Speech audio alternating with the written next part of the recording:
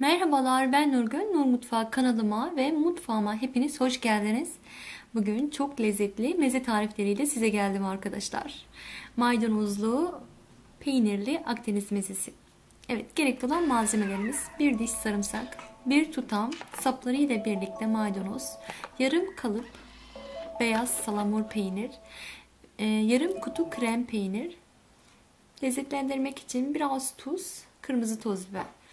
Evet yapılışı öncelikle sarımsak ve maydanozu mikserimizde bu şekilde ufaltalım. Daha sonra kalıp peynirimizi ovalayalım. İçerisine ekleyelim. Devam e, ufaltalım. Krem peynirimizi de içine ekleyelim. Yapımı çok kolay. Zamanınızı hiç almayacak. Kahvaltıda yapın derim arkadaşlar. İnanılmaz lezzetli e, kızartılmış ekmek üzerine sürüp yemesi müthiş lezzetli e, ve gerçekten artık vazgeçilmeziniz olacaktır. Hafta sonu kahvaltılarında mutlaka yapın derim.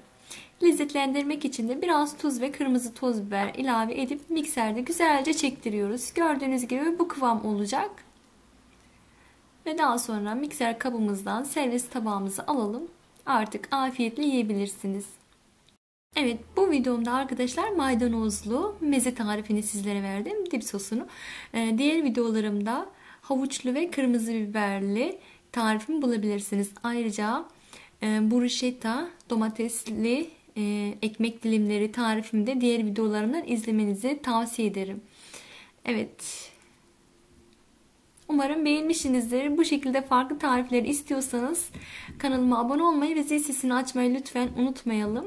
Ayrıca beğeni ve yorumlarınızda lütfen kanalımda eksik etmeyin. Sizlerin beğenileri ve yorumları benim için çok değerli ve kıymetlidir. Evet, bu tariflerimin hepsi arkadaşlar YouTube kanalımda diğer videolarımdan izleyebilirsiniz. Evet, bir yayınımızın sonuna geldik. Bugünlük bu kadardı. İzlediğiniz için hepinize teşekkür ediyorum. Farklı tariflerde tekrardan görüşmek dileğiyle kendinize çok iyi bakın. Sevgiyle kalın, hoşçakalın.